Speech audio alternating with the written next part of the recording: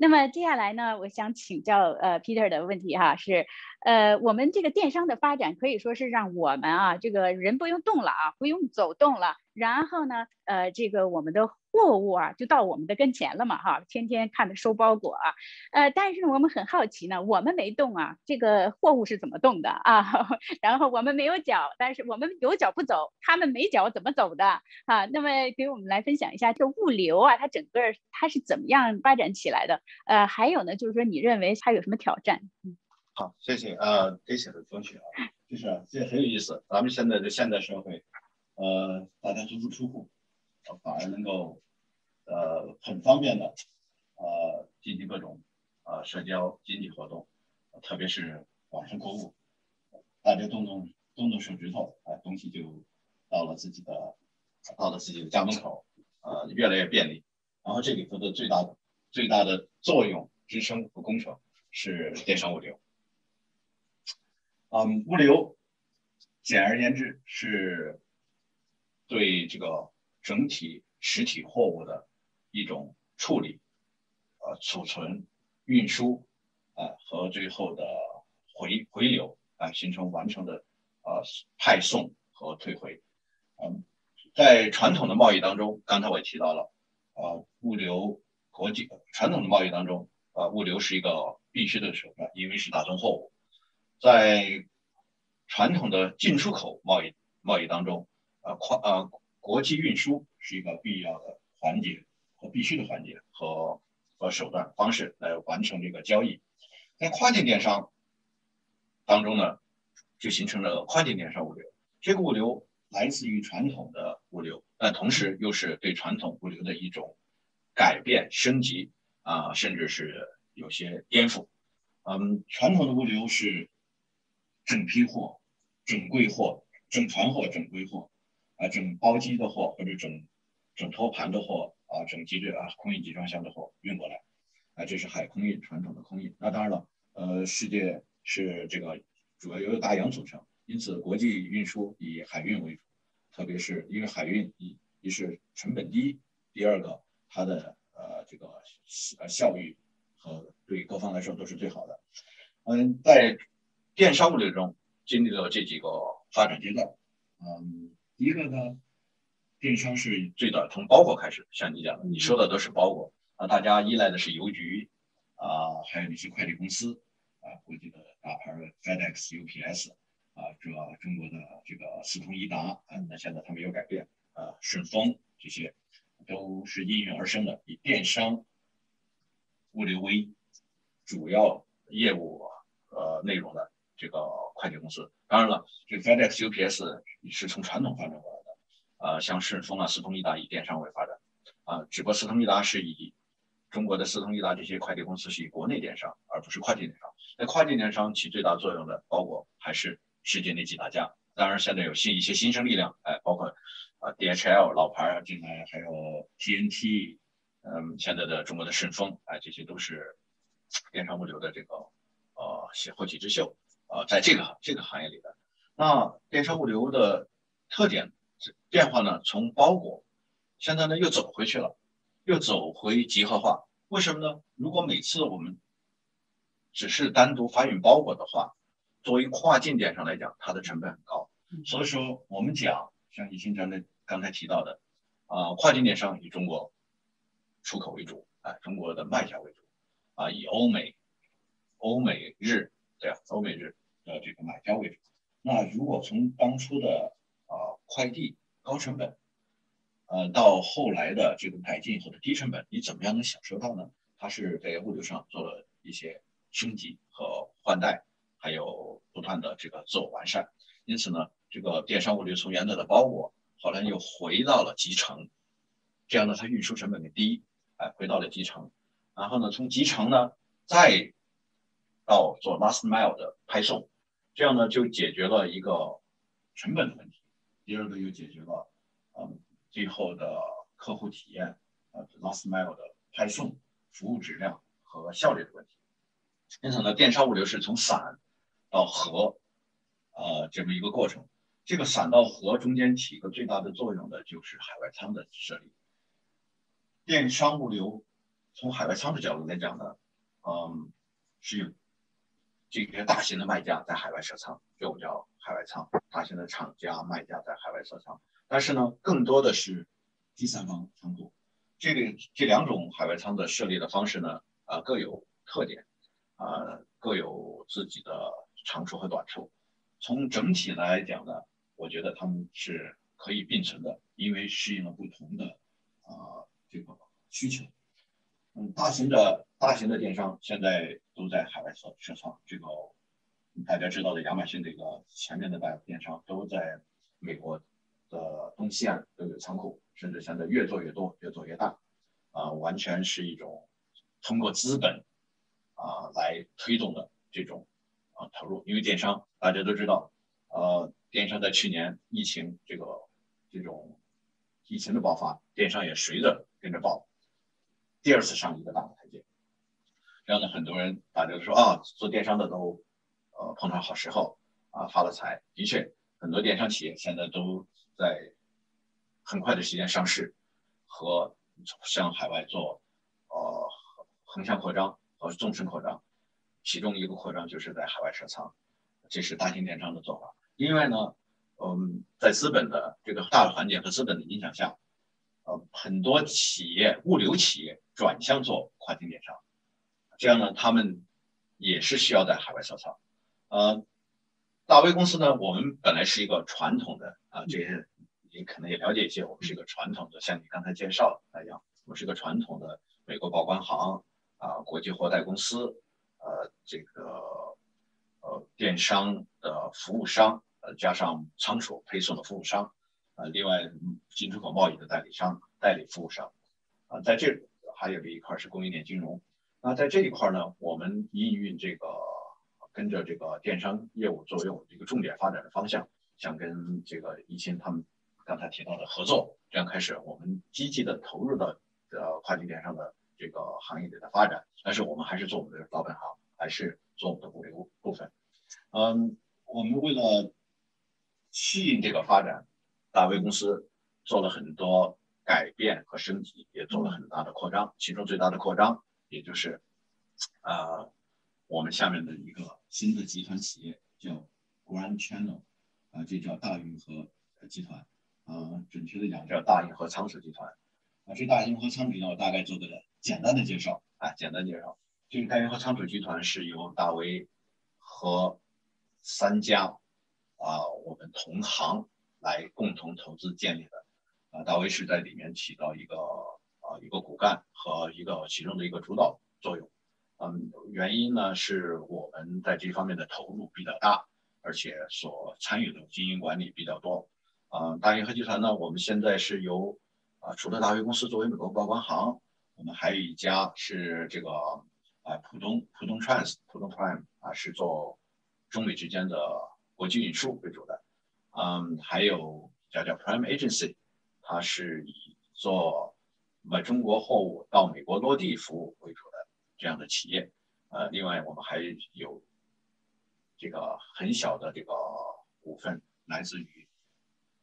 来自于专门经营电商仓库、传统仓库、电商仓库的这个企业。呃，他们在深圳，呃，也在美国都有仓库。所以从运输量来讲，如果我前面稍微统计了一下，呃，也吓了我一跳，就是我们这个集团里面，光是这个运输量，我们运输量和转单量达到了将近二十万个 TEU 海运 TEU 的量。这个数量在中美之间，我想应该能排到前十吧。啊，这个大概的运输量，这个一个基本概念。呃，这个呃有这么大的运输量。啊，有作为大卫这样的最早的华人啊，是指大陆来的华人企业，在美国开的报关行，所以说报关运输量再见加起来，再加上我们现在发展拓展的大家一起拓展这个仓库啊群系统，就基本形成了啊进出口的代理、报关、运输以及仓储服务的这个啊生态，在这个生态下，这个生态也有。及就可以去适应这个电商的发展啊，当然了，我们还有一些具体的啊升级，无论是报关上的升级，报关上我们专门开辟了为报关呃电商报关的这样的一些项目，呃，比如说 Section Three Two One Type Eighty Six 这些电商快递报关。另外呢，我们还为此设立了啊保税库啊，也在做这个 CFS 啊这个集装箱集散站的这些跟海关直接呃深深入这种互动的这些呃设施和这个我们的呃仓库，这样呢极大的方便了从物质上就物呃设备上方便了我们的这个进出口的操作和这个电商物流的操作。啊，如果有时间的话，我可以大概的啊介绍一下大以后这几个仓库。我们在在这个半年之内吧，我们一下开辟了六个仓库，而且第七个仓库也在正在建设当中。希望我们以后再有机会呢，就请呃 Peter 来继续分享一下大运河。哎，我真的很佩服他们啊！这个大 V 这个名字已经起得很好了哈，又又出一个大运河哈。呃，这个我曾经去过巴拿马，哎，我还真的就在那巴拿马运河啊，我还真的见过它，它是怎么怎么怎么那个船是怎么进出的哈。这个大运河这个名字让人一听就想到了哈，气势宏大的这种运输团团队哈。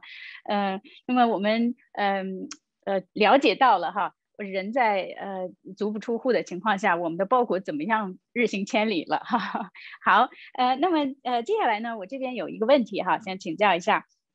那最近呢有一个 news 出来了，说这个 Amazon 啊，在在这个中国呢，呃有这个关闭的这个呃平台关闭的这样的一个 news 哈。呃，我不知道呃这个对咱们这个电商啊，对这个物流整个的是一个什么样的影响？呃，当然，对 Amazon 股价的影响，咱今天就不谈了哈。呃，对，咱们这是不谈财经，谈个谈物流啊。今天是好，嗯，最近发生了一些大事情啊，呃，是国际航运系统、国际航运这个行业和这个这个国际航运行业以及这个电商物流、电电商这行业都发生一些大事情。嗯，关于亚马逊关店这个件事情呢，啊，有很就像我前面讲的。提到的，这是不只是一个呃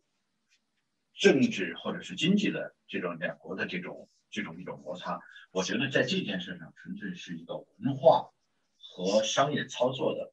冲突或者变化啊。所以说，如果我们这么讲吧，当中国的电商发展到这么大的时候，就是鱼龙混杂，哎，在发展中，在刚才我讲的一个副产品。就会有些把国内的一些习惯带到这边来，啊，主要发生的主要是合规的部分，啊和这个规范操作的部分，这样呢，产生了这些亚马逊对于中国的一些重要的这个卖主、大买家啊关键的情况。对于我先讲我们物流这部分，我觉得这一块呢，待会儿让易清点评几句更好，因为他是研究这个，呃。它本身是电商平台最大的电商平台之一，而且呢，他又是研究这个品牌的，也就是研研究这个电商运营操作合规的，啊，我想他的见解一定比我更深。我这里从从物流的感觉就是两件事：第一，项我们突然爆仓了，嗯，爆仓，这个爆仓本来是旺季就爆仓，那现在呢，很多亚马逊的仓库呢，亚马逊是个最大的物流企业，它的仓库把这些店给关了之后呢，他们的货就进不去，进不去就要退回到。这个第三方仓库市场和退回到自己仓库市场，这样呢会造成啊整个的东西岸的主要的啊电商仓都造成爆仓，造成我们的也是一阵混乱吧。这样不但影响了我们的这个正常的计划，同时呢也影响我们的传统的这个专业仓啊和传统的这个呃海外仓的这个运营。现在我们你看，呃我们也很幸运，我们这半年增加了五个仓，嗯但是呢我们的现在的仓位除了亚特兰大是新开的，还没有爆啊，其他的地方全都是都是爆仓了。呃，这个这个现象呢影响比较大，但是呢，我想是一个痛苦，但是很快就会过去。呃，至于花几个月多长时间，这看咱们中国人的智慧和理论能力了。啊，这方面呢，我觉得呃，易清比我看得更深一点，更具体。好，易清点点将了。好的，好的。那我就我就来了啊，就是我觉得 Peter 的分析很深刻哈，我一如既往的就剑走偏锋。就 Peter 是代表的是堂堂正正，我是那个我是守正出奇。我首先说一下哈，我觉得亚马逊这件事儿呢，对物流行业没有任何影响。就是我一说中国大卖家被封这件事儿，对物流行业没有任何的影响，因为呃，我说一句很刻很尖酸刻薄的话，这些大卖家在亚马逊上的地位根本就无足轻重，它只是亚马逊这个帝国货架上面那些货背后的一个品牌名字。我们在中国给它贴金叫什么大卖家、什么大品牌商，其实根本就不是，因为亚马逊是个货架式的电商，就是百分之七十的美国消费者在亚马逊去买东西的时候，搜索的是产品的名字，而不是品牌的名字。也就是说，消费者并不在乎这些大卖家的品牌是什么，他们也没有知名度。消费者搜索的是具体我要买什么东西，比如我要买一个蓝牙耳机，或者我要买一个充电宝。那么，所以呢？呃，首先我想说的是，大卖家在亚马逊上下架这件事儿，对亚马逊丝毫不重要，对美国买家也不重要，只是对中国这种大卖家这个行业本身很重要。那么对于物流没有任何影响，因为物流是血管。那么至于说这一批血液被淘汰，换了一批新鲜血液，那最后都得还要需要依靠像大 V 这样优秀企业来提供服务。这第一点。第二点呢，当我们谈到说亚马逊大卖家这件事儿。是怎么产生的？在我看来，这有一个深层次原因。我用一句话来形容，就是中国很多电商玩家在海外拓展业务，他往往是善于合理的利用灰色地带，而很多规范的欧美企业在海外做业务的时候，他是善于合理的规避灰色地带。所以各位听到了啊，一个是善于合理的利用灰色地带，一个是善于合理的规避灰色地带，它就必然会造成不同的结果。那么不同结果就是很多欧美的企业会专注于打造长期的核心竞争力，尽量去规避灰色地带，而我们很多中国电商的卖家呢，他会利用规则的漏洞和利用一些呃我们的一些理解去去把这个灰色地带去变现。各位看到亚马逊上的这个事件，本质就是一些大卖家一如既往的去合理的利用一些灰色地带，最后反过来呢，在平台的规则面前吃了大亏。我认为。呃，我们就我认为中国呢，呃，在品牌出海和未来全球化当中，如果我们这种小农的心态不改，如果我们总是满足于把这种合理的利用灰色地带当做智慧、当做聪明的话，那最后结果只能是搬着石头砸自己的脚，甚至是搬着石头砸自己的脑袋。好，谢谢。好，非常非常感谢易清哈。呃，这个其实啊我们聪明的买家啊，现在我们买东西的时候上网 search。就直接 search 你要买的东西。你就会看到除 Amazon 之外其他的 option 啊，呃不，当然很多是 Amazon 呢，它有很多别的方便了。如果你是呃 Prime 这个 membership 的快啦等等啊，但是呢，有些东西呢，可能你在别的地方也能找到很好的 deal 哈，这是消费者的一点点体会哈。嗯，好，那么我请教一下 Peter 哈，这个海运运力现在有存在一些危机是吗？那这个对电商是有有什么冲击吗？啊，这个。这个新闻上，如果关注的话，大家都注意到了。呃，这个最近海运发生了很大的变化，海运这个线路主要是造成了运价的高涨。现在运价，呃，如果大家对这行业不太了解，我就举例子吧。呃，如果去年这个时候，或者前年这时候，从中国的基本港，无论是深圳、上海、宁波、青岛，还是新港、天津新港出来的货物，大概都是一千多美元一个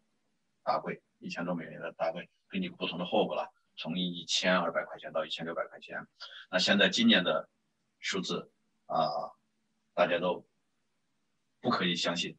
啊！我我我我不知道，你可以猜一下，大概能一般的涨价能涨多少？你你以前也做过贸易，你对这个运费觉得要涨价会涨多少吗？呃，如果说涨个百分之五啊，呃，可能可是可以承受的吧。对，因为国际贸易的利润，嗯，只有百分之几到百分之嗯几十，嗯，对，那我就告诉你，如果涨了百分之五百，百分之一千，在这个个一年之内，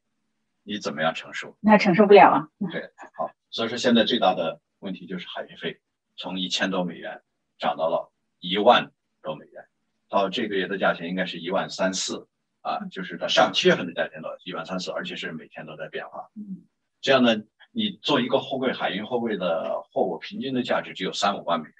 当一个货柜的海运费从它的原来的比例一千多美元涨到一万多美元的时候，这个价格、这个产品的成本结构发生了根本的变化。因此呢，